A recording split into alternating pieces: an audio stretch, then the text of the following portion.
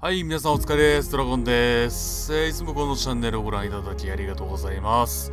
今日はですね、ちょっと緊急補強というところで、あの、リンブ君をですね、ちょっと補強していこうかなと思いました。なぜかというとですね、今合唱戦を回ってて、リンブ君が強いよーという声をですね、えー、視聴者の方からいただきました。まあ、あとね、えー、他の動画を上げている皆さんの動画をね、えー、見させていただいてもね、臨武軍がね、強いと。結構巻き込みがしやすいっていうところでね、えー、めちゃくちゃ使いやすいという、えー、声が多いので、臨武軍を狙っていこうかなと思います。で、一応ですね、えー、臨武軍の方がですね、こんなステータスになっております。まあ、一応ですね、あの、擬人化した後で言うんですけども、対象方向線形広範囲に強力な攻撃というところで火力も十分あって、線形広範囲。あと自軍への被害軽減も、えー、つけることができますよ。であとは個人技能もですね、えー、攻撃速度と攻撃被害軽減を、えー、ソの、えー、武将2人以上でかけれるので春心軍入れておけばですね全然効果が出るんですよ。自身に対して。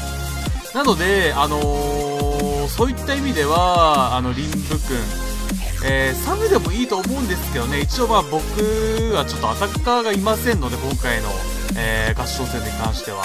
なので、ちょっとリンブ君をですね、補強しようかなと。まあ、それこそね、えー、チケットが19枚あるんで、そちらの方で引いていこうかなと思いました。なのでやっていきます。レディゴーさあ、どうかな？はい、爆死やないかい。全然爆死やない。おかおれかおれおい。かおれおい。わし。はいや。さあ復帰一発目からいい感じでやってまいりました。しかし副艦祭りか。おい1回目セーフさあどうなること？副艦祭りか？副艦祭りか？やめとけよ。副艦祭りやめとくれよ。頼むぜおい。おいじゃ副艦祭りはいはいはいはい。はい。副艦祭りかい。結局副艦かい。白麗ですね。お猿さんがやらなかったからいいけど。ハクレイの効果がどんなもんかってね俺はリンブ君しかいらねえけど。マジかよ。いやいやいやいやダブルのあるぜ。ダブルのあるぜ。頼む来い。おい！うわーマジか。きち。まああとはねちょっとしゃあないけど、まあ、単発で引いていきますけど10連引けないんでね。あのー、あと9枚しかないんでね。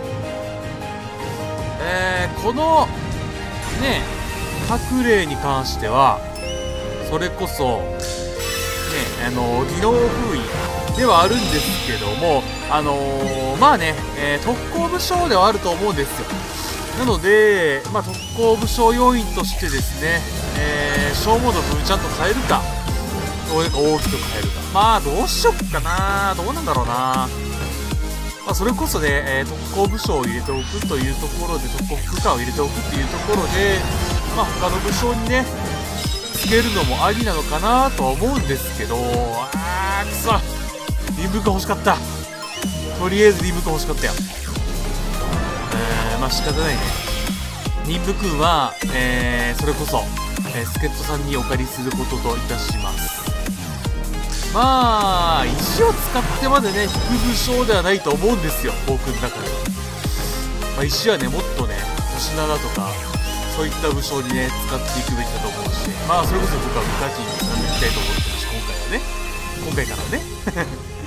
なのでちょっと無課金かなこれは。無課金にしちゃきついかな。うん。石を真面目に貯めよう。まあ仕方ねえよこれは。まあこれは仕方ねえ。くそ悔しい。マジ悔しい。うわっ。ちょっと今なんだろう。ロード長かったけん。あったかと思ったけどないか。さあラストラスト1枚。ラストオブ1枚。来い！うわー！ダメだ。ダメか。まあ単発もね充電もね確率変わんないと思うからまあ仕方ないよね。これは運がなかったってことでしょう。仕方ありません。はい今回は、えー、リンブックを引いてまいりましたがまあ星の数出てくれたんでね、良かったと思います。えー、行動が良かったなと思っていただけた方、チャンネル登録、高評価お待ちしておりますのでよろしくお願いします。引き続き合唱戦頑張っていきましょう。それではご視聴いただきありがとうございました。また次回の動画でお会いしましょう。さようなら。